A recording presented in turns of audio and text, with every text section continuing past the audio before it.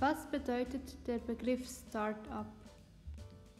Ein Startup ist ein kürzlich gegründetes Unternehmen mit einer Geschäftsidee und hohem Wachstumspotenzial.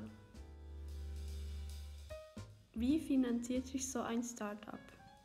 Entweder durch einen Kredit, das Einschreiben in ein Förderungsprogramm oder durch die Teilnahme an Crowdfunding.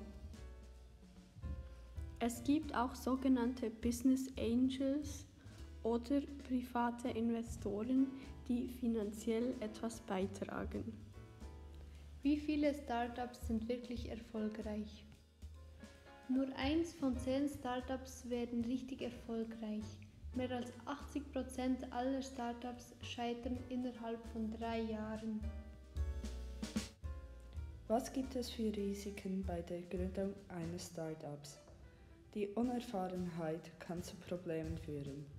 Auch die Vermarktung des Produktes und die Geldreserven können Probleme verursachen.